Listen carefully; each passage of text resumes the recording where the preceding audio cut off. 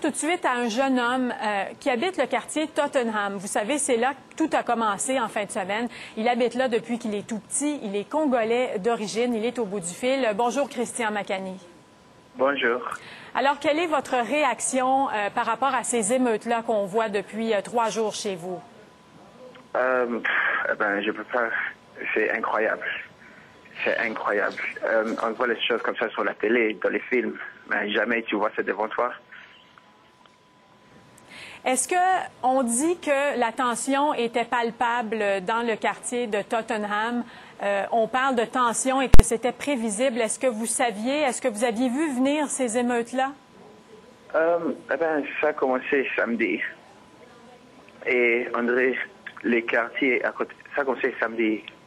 Oui. Euh, parce que le policier a tiré sur le, le jeune, le jeune homme. Mais maintenant ça a commencé, les gens, ils ont vu que si j'aille dans le shop, je vois la télévision, personne va m'arrêter.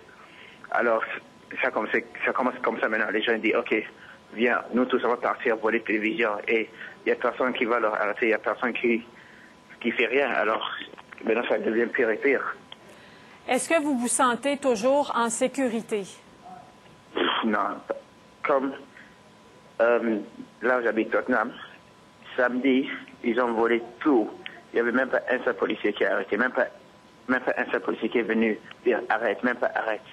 Alors, les, les gens, ils sont en train de voir ça. Ils voient que la police, ils font rien. Alors, pour eux, c'est feu vert. Il faut savoir qu'est-ce qu'ils veulent. Donc, les policiers n'étaient pas assez présents chez vous? Non. Il y a des gens qui ont parlé euh, de profilage racial dans Tottenham. Est-ce que vous avez été témoin de ça? Euh, je pense avec Tottenham, le problème est que la police s'en fout de Tottenham. C'est ça le problème parce que si, je je sais pas si vous savez, mais au Enfield, il y avait les problèmes aussi. Et le même problème qui s'est passé au Tottenham, ça s'est passé à Enfield. Mais au, au Enfield, euh, dans 30 minutes, la police est venue, ils ont arrêté la situation. Mais au Tottenham, tout le monde s'en fout. Pourquoi, selon vous? Euh, je pense il y a l'histoire là-bas parce que je pense que ça fait quelques années, il y a un policier qui est mort au Tottenham. Alors peut-être c'est pour le raison là. Alors ils ont peur, ils ne veulent pas toucher ou bien. Mais si tu vois comment ils ont ré- réagi avec Enfield, les policiers sont partis avec les chiens. Ils ont même 30 minutes, la situation c'était calme. Mais Tottenham, tout, toute la nuit, il n'y a personne qui est venu, personne n'a intervenu. Donc, ce que vous me dites, c'est que dans des quartiers plus favorisés, les policiers sont intervenus rapidement, mais ça n'a pas été le cas à Tottenham. Oui, oui. Et aujourd'hui, euh, décrivez-moi ce que vous voyez autour de vous dans votre quartier. Tous les shops sont fermés, les gens ont peur de sortir. C'est, c'est incroyable. J'ai ma soeur, elle est en vacances maintenant de l'école, mais elle peut pas sortir parce qu'elle a peur. Elle a peur de sortir. Tout le monde est à la maison. Il y a toujours les gens qui sont à la marche et prennent les photos. C'est, je t'assure, c'est comme on regarde la télé. André, c'est film.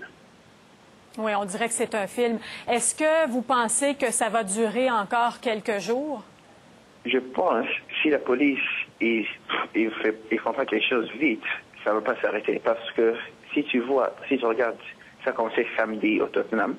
Après dimanche, les gens sont à voir que si il y a beaucoup de gens qui, qui viennent et ils disent OK, on va attaquer cette shop-là, la police, ils peuvent rien faire, ils vont rien faire.